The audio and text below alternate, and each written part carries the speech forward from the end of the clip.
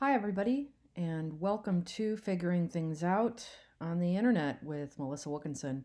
I'm here today to demonstrate how to make a Photoshop pastiche for your next assignment. So the very first thing that I'm going to do is I'm going to instruct you how to do this Google search for your artists. You'll note on your instructions page that there are several artists for you to look up, and hopefully you'll enjoy while perusing them uh, and choosing ones that appeal to you.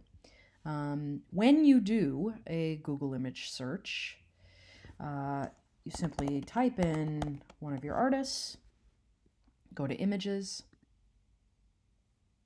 go to tools, and make sure that your size is large. So when I'm perusing through these images, I'll find sizes that are appropriate in pixelation that will not um, be poor resolution for my print because I'm going to ask that you work uh, from a print from this. So once you've done all that and you've found several artists to deal with, which I have, you just simply drag and drop your images onto uh, your desktop. And what I'm going to do is I'm just going to select all of them and drag them into my Photoshop. And when I do that, they'll all open up. I've got several to deal with. Um, and what I'm going to do is kind of segregate them over to the side for use when I'm ready for them. And I've got a little Jeff Koons there, a Yu June. I've got an Eberhard Havekost. And then I've got uh, Ruth Root over here and Monique Prieto there. So I'll just minimize those and get those out of the way. And I want you to play with, once you have an image, uh, you'll notice that there's a palette over here with all of your tools, and you really only have to know a few tools to work with on this. Um, so the very first thing that I want you to do is I want you to create a, you know, an 8 by 10 print or so, and I've got one already created. So over here you'll have the width and the height. So 8.5 by 11 is the size of your print. You want 300 resolution per pixels per square inch, okay? Not pixels per centimeter, but pixels per square inch. CMYK color is good for your print. Um, you go RGB if you were just doing a screen, so CMYK, and make sure your background is white, then create that. Once you've created that, you can start to drag and drop all of your images onto that. Now I want you to alter these images and play with the filters. So I've got this image here, but I really want to kind of see what a filter gallery can give me. So after I drop that into my filter gallery, I can play with what this will look like using the varying forms of the palette or the um sorry the filters and there are plenty here as you can see. So I particularly like the cutout tool, and I can play with the number of levels there. So you're really gonna have to take your time to figure out what you want to do in an image. And so I've altered it. And what I'm to do is I'm just basically to use that as my backdrop. And once I drop it into my field, I want to press Command T at the same time in order to get my handlebars up. And once I do that, I can simply press caps lock and pull at the edge in order to, so I'm pressing caps lock and I'm making the image larger. Find a place for that, press enter.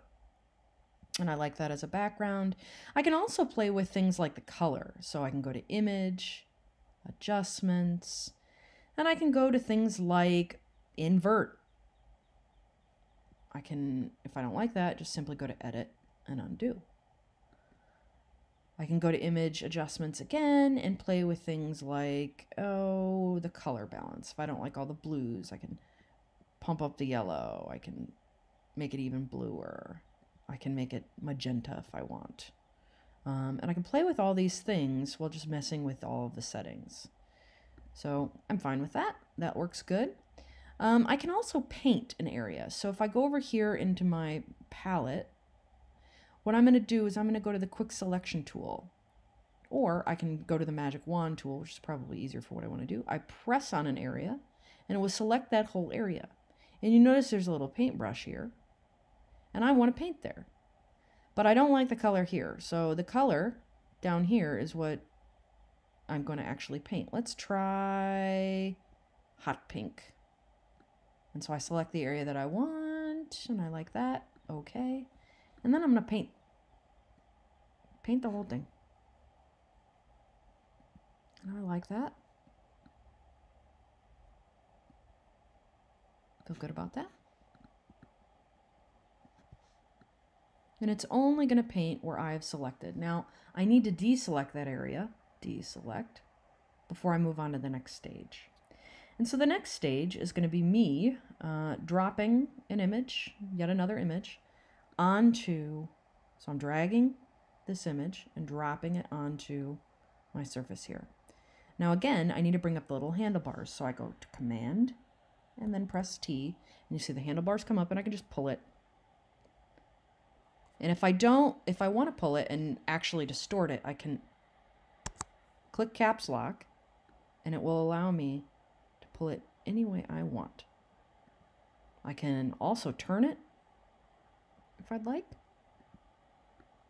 I can leave it skewed. I can make it as big or as small as I'd like. Then what I can do is I can go back to that magic tool or that magic wand and I can select an area and delete. I don't like that red. I'm going to take that red out. I don't like that brown. I can also select, so I'm basically just pressing delete. I can select this sort of like very light peach tone and then I can move it. So I just go up to my move tool and I move it. And I press enter. And then I deselect. So I'm ready for my next stage. So the next stage is just to find another one of those images that I moved away. So I'm going to deselect these that I don't want anymore.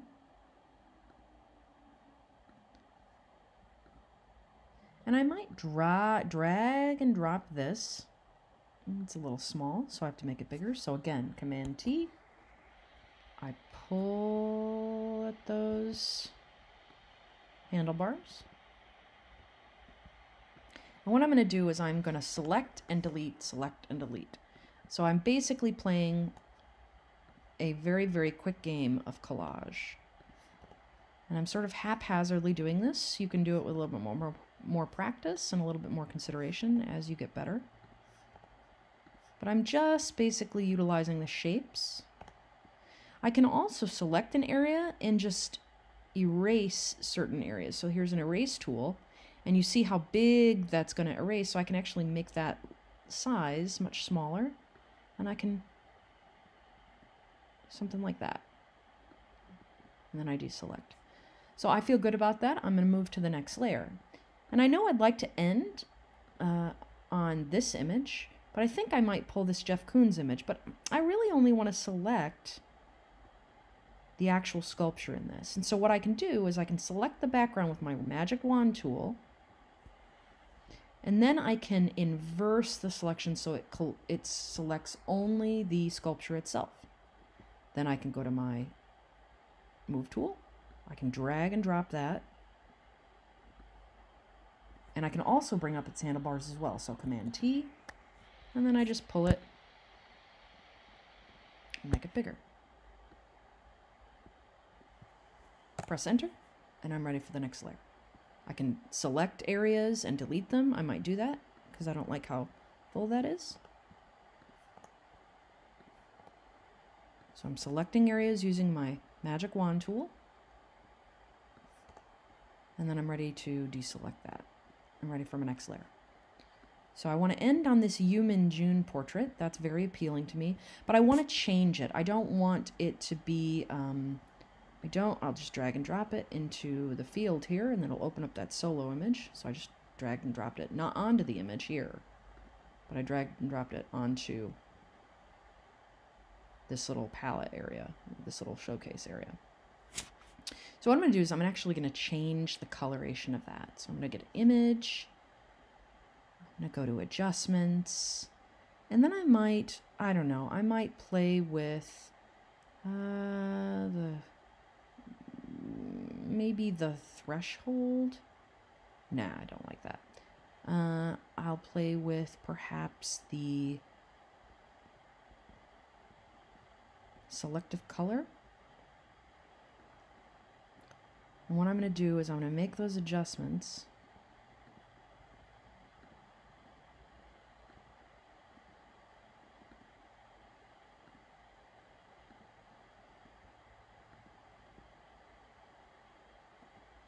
And start to move things around to get a little bit different.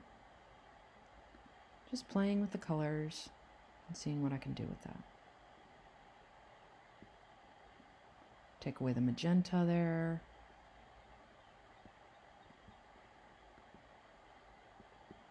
Make a more of a sort of fleshy color instead of that pink. If I want to. I can play with the absolute method there.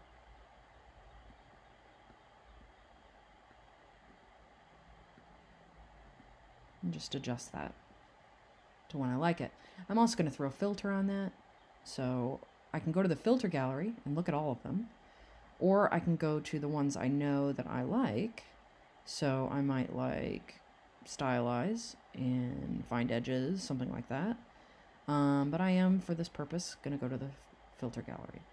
Um, and it'll automatically do the last thing I did, so I don't like that. So let's go to filter gallery and cut out. And I'm going to change the amount of levels on that so it just flattens it out for me. I like the edge simplicity, so I can change the edge simplicity there. And I'll press OK. Move that over here. And what I'm going to do is I'm going to drag and drop him onto that surface. I'll bring up my handlebars. I will press caps lock in order to not distort him as I make him larger. Situate him where I want him. Press enter. Then I will wantonly select areas using my magic wand tool. Or I can also, just double clicking, uh, do the quick selection tool, which will pick up a larger area. So if I want to, I can just pick up a much larger area. I don't like that. Edit, undo, clear. So anything that you do, you can undo. So if I don't like where it's selected, I'll just take that out. And I really prefer the uh, magic wand tool. I feel like I'll have a little bit more control over that. So I want this to remain a kind of abstracted image. I think I'll take that out. I currently have a horrific image um, that I think is an interesting image that I might be wanting to paint. I, I will make probably three or four of these before I actually can commit. Um, and if I don't like the placement of him, what I can do is I can go Command T, find the handlebars, and I can turn him upside down if I want to. And I think I might like that better, so we'll move him there. I'll press Enter. And then what I'll do is I'll go to Image, image rotation and I'll turn it 180 degrees. So I think I like that better. Um, it looks like he has tonsils here. And so basically I'm just sort of cutting and pasting as I go. When I'm ready to save the image that I like, I'll make a, few of these like I said. I go to File, Save As, and I'm just going to save it on my desktop for easy use. I'm not going to save this as a Photoshop document. I will save it as a JPEG, just a simple JPEG right here.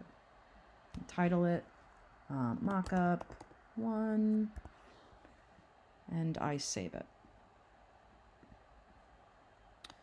Once I've done that, I make a print of it, and now I'm ready to roll in using that as my mockup to make my next painting. And I am good to go. So if you have any questions, just let me know. But remember, you can do all of this with, with prints and paper if you elect to. Um, but this is the simplest, uh, fastest way to do it. And you should all get a little bit more comfortable with Photoshop as you progress as painters. So it's a wonderful tool. And thank you so much for your attention. Signing off. Bye-bye.